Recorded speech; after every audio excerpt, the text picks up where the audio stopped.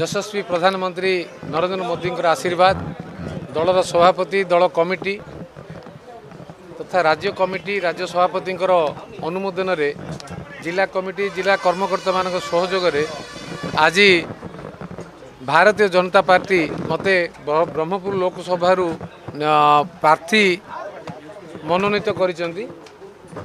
ଏ ଅବସରରେ ପ୍ରଥମ ଥର ପାଇଁ ଗୋପାଳପୁରର କର୍ମକର୍ତ୍ତା ସହିତ ଆମର ଲୋକାଲ ଲିଡରମାନଙ୍କର ବିଜେପି ଲିଡରମାନଙ୍କ ସହିତ ଆଲୋଚନା ଚକ୍ର ଥିଲା।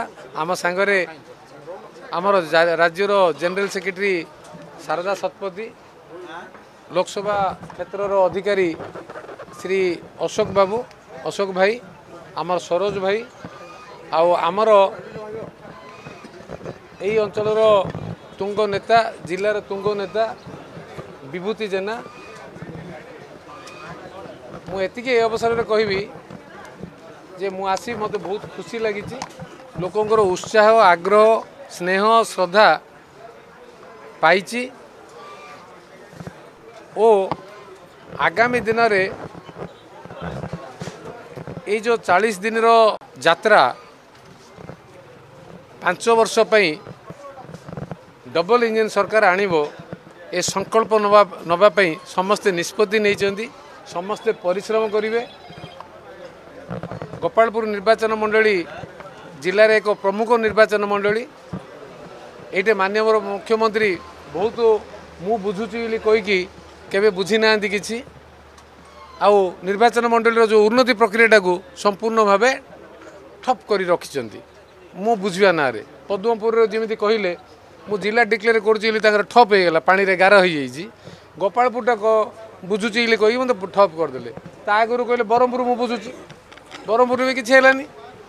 ଆଉ ଆମର ଗୋଟେ ଏକ୍ଜାମ୍ପଲ୍ ଦେଇଦେବି ଯେ ମୁଁ ଦୁଇ ହଜାର ନଅରୁ ଯେତେବେଳେ ନିର୍ବାଚନ ହେଇକି ଆସୁଥିଲି ଗୋଟେ ଏୟାରପୋର୍ଟ ପାଇଁ ଲୋକଙ୍କର ଯେଉଁ ଆଶା ଥିଲା ଗଞ୍ଜାମ ଅ, ଜିଲ୍ଲାରେ ସମସ୍ତଙ୍କର ସେ ଓଟ ପାଇଁ ସବୁବେଳେ ଚେଷ୍ଟା କରାଗଲା।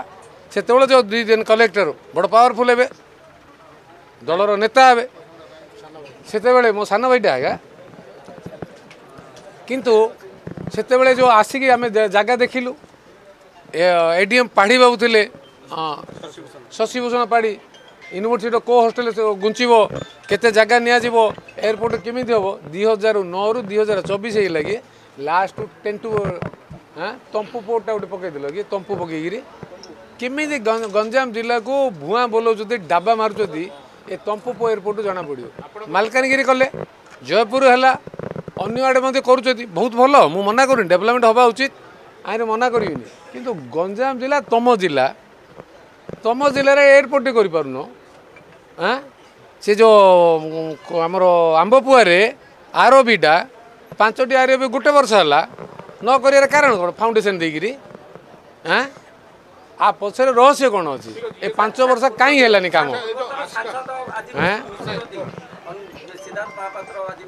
ଆଉ ମିଶିଏ ତ ସିଦ୍ଧାନ୍ତ ଭାଇ କ'ଣ କରିବ ଆଉ?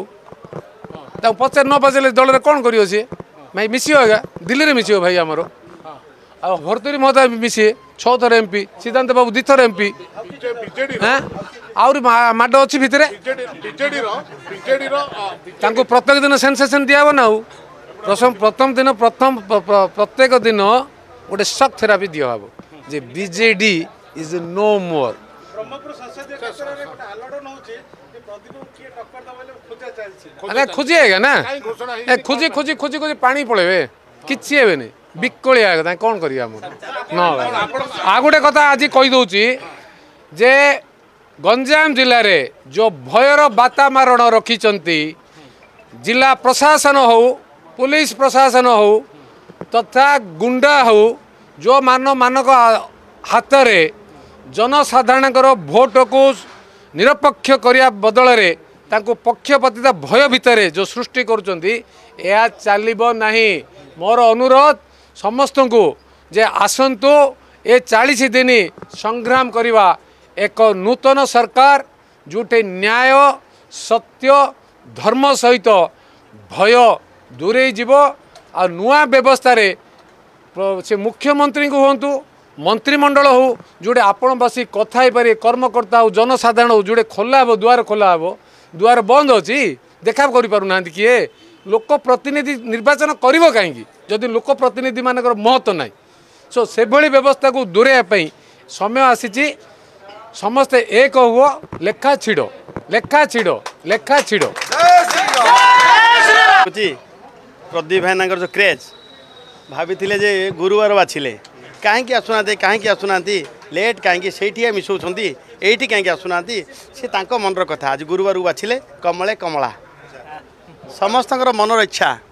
ପ୍ରଦୀପ ଭାଇନା ଆସନ୍ତୁ ଆମେ ସ୍ୱାଗତ କରିବୁ। ଆଜି ଭବ୍ୟ ସ୍ୱାଗତ ହେଲା ଏବଂ ଗାଁ ଗାଁରେ ଅନେକରି ବସିଛନ୍ତି। ପ୍ରଦୀପ ପାଣି ପ୍ରାର୍ଥୀ ପାଇଁ କିଛି କମେଣ୍ଟ କରିବିନି। ଯିଏ ଯୁଦ୍ଧ କ୍ଷେତ୍ରରେ ଅବତୀର୍ଣ୍ଣ ହେଲେ ସିଏ ବି ପ୍ରାର୍ଥୀ ସିଏ ଆମର ପ୍ରତିଦ୍ୱନ୍ଦ୍ୱୀ। କିନ୍ତୁ ଲୋକ ତ ମନେ ବଳେଇ ସାରିଲେଣି।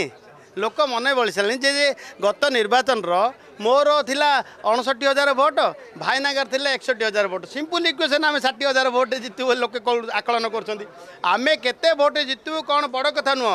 ପ୍ରଦୀପ ପାଣିଗ୍ରାହୀ ହେଉଛନ୍ତି ଏ ଗୋପାଳପୁର ମାଟିର ପୁଅ।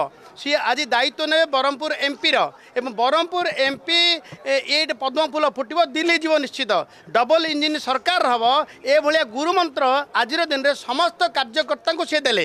ଏବଂ ଆଜି ଆମ ଗହଣରେ ଉପସ୍ଥିତ ଥିବା ଶାରଦା ଶତପଥୀ ମହୋଦୟ ମଧ୍ୟ ବହୁତ ପ୍ରାଞ୍ଜଳ ଭାବେ କଥା କହିଲେ ଲୋକଙ୍କ ମନର କଥା କୁହାକୁହି ହେଲେ ଲୋକେ ଯାହା ଚାହୁଁଛନ୍ତି ତାହା ହେବ ଲେଖା ଛିଣ୍ଡିବ। ଗୋପାଳପୁର ଉଦାହରଣ ହବ କି ଡବଲ ଇଞ୍ଜିନ ଆପଣ ଦି ଜଣ ନିଶ୍ଚିତ ଭାବେ। ନିଶ୍ଚିତ ଆପଣ ଆପଣ ଦେଖୁନାହାନ୍ତି ଭାଇନା ଯେଉଁ କଥା କହୁଥିଲେ ଏଇଠି ଯେଉଁ ଭଳିଆ ବାତାବରଣ ସୃଷ୍ଟି କରୁଛନ୍ତି ବର୍ଷେ ଦୁଇ ବର୍ଷ ହେଇଗଲା ପ୍ରଦୀପ ଭାଇନାକୁ ହଟେଇଲା ପରେ କ'ଣ ପାଇଁ ମୁଁ କହିପାରିବିନି? ଆମ ଗୋପାଳପୁର ନିର୍ବାଚନ ମଣ୍ଡଳକୁ ଅନେକରି ବସିଛନ୍ତି। ମୁଖ୍ୟମନ୍ତ୍ରୀ କହିଲେ ଗୋପାଳପୁର ଦାୟିତ୍ୱ ମୁଁ ନେବି। সে সে অল্প সময় তলে কৌলে কেবে আসলে দিনে বি আসলে কি দিনে গোপালপুর আসলে যে চেলা চামুন্ডা মানুষ পঠাউন মদ বেপারী খণ্ডে অপরাধী খণ্ডে এতে লোক পুরা অতিশয় হয়ে গেলে অতিষ্ঠ হয়ে গেলে তেণু গোপালপুর এথর শক্ত শক্ত জবাব গোপালপুর নির্বাচন মন্ডলী দেবে যেতে সবুঠ হাইয়েস্ট हाएस्ट भोट देवे प्रदीप भाईना को गोपालपुर निर्वाचन मंडली हाएस्ट भोट देव प्रदीप भाईना को जदि आपण को आम भिडी भल लगा तेब आम चेल्क लाइक सेयार और सब्सक्राइब करने को जमा भी बुलां नहीं।